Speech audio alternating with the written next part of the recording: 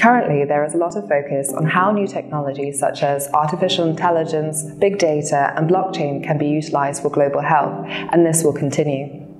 However, there'll be increasing focus on sustainability as we move beyond the hype of new technologies to what technology works best in the context and can be sustained nationally.